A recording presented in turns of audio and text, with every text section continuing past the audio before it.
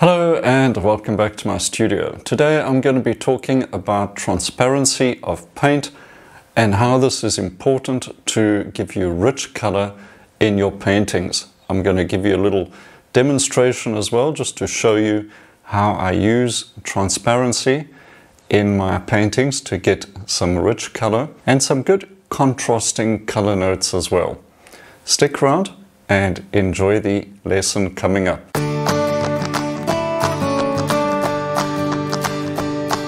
Okay, now transparency of paint seems a rather obscure subject and perhaps something that beginners are really not considering.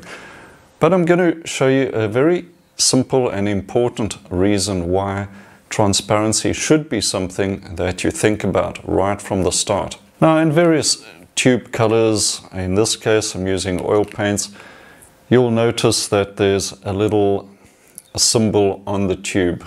In most cases it's a, a little square and in color that is strongly opaque, that is not transparent at all.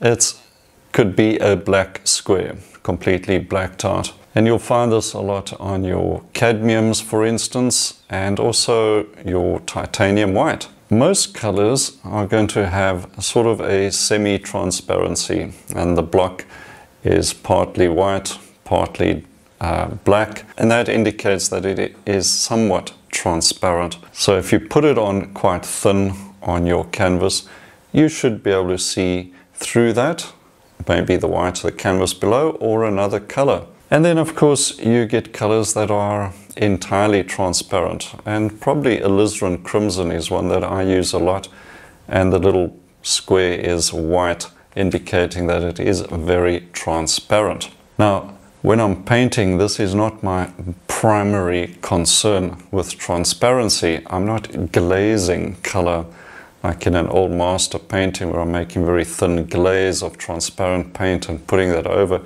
so you see the bottom colors come through and are influenced by that glaze. That's not what I'm talking about. I'm talking about transparency in the sense of trying to emphasize the color and keep out the most powerful opaque medium on your palette and that is the white paint. So for example, you'll see in the coming up little demo where I make the trees and the shadows the strongest color without any white paint, keeping those colors relatively transparent and making them richer as I layer color over each other. It could be transparent like alizarin or semi-transparent like maybe ultramarine blue. Those semi-transparent colors are increasing the richness and uh, the vibrancy of those colors. Anyway, this short demonstration will show you the, the differences that I'm talking about and try this in your next painting and see if it really boosts the punch and color in your painting. So I'll start the scene with the darks and using a transparent layer to get those darks in very quickly. In this case, I'm using a bit of um, ultramarine and burnt sienna, applying the layer very thin as well, and mixing color into color, wet into wet. Some of the color mixes on the canvas and creates those greens as well. And as you can see, it's not too opaque and building up these layers now to get even richer color. These are medium value colors, still transparent and still nice and rich. I've actually used a bit of uh, cadmium orange there and you can see it is not that opaque. Certainly nothing like when you get white paint in. Now with a bit of red and alizarin to get some orange notes and then some green notes as well. Building this color up so that it is nice and rich as you can see. And by rich I just mean deep, vibrant, almost a luxurious look to it. It's not cold, even Compared to this now, you can see with the light of values, I'm bringing white paint into it to create opaque color. Very strong,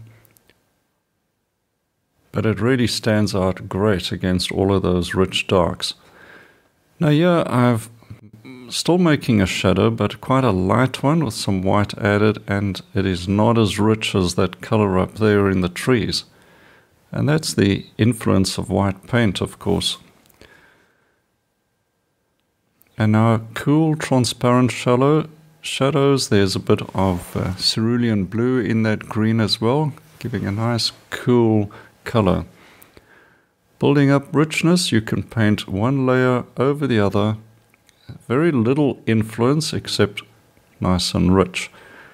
Opaque lights, paint that straight over your darks. Now with the highlights, use them quite sparingly. Don't lose all that rich color you've built up. Nice strong shadows, a warm, warmish green, but it looks cool against the really warm oranges and yellow colors. And when you get into the opaque lights, contrast those with the shadows and they really stand out even better. Quite a bit of white in that yellow and look and you get that lovely thick impasto juicy color notes really standing out because of your darks. And there we have it. A good combination of rich color and transparent colors. Well, I hope this little lesson gives you something to think about and makes you more conscious of what you're doing with your white paint especially and what you're doing with the shadow parts of your painting and how long it takes you to bring in the white paint. Try to keep the white paint out for as long as possible to give you the best chance of really emphasizing the strong colors. Now there's a lot more to this subject and I cover color and color mixing in a lot more depth in my painting courses. You'll find a number of courses to choose from, from oils to gouache to acrylics, even watercolor and pastel. And to get you started, I've got a free course in the description and you can also find one in the link up here. So try that out and I hope that you have subscribed to this channel so you don't miss the next video.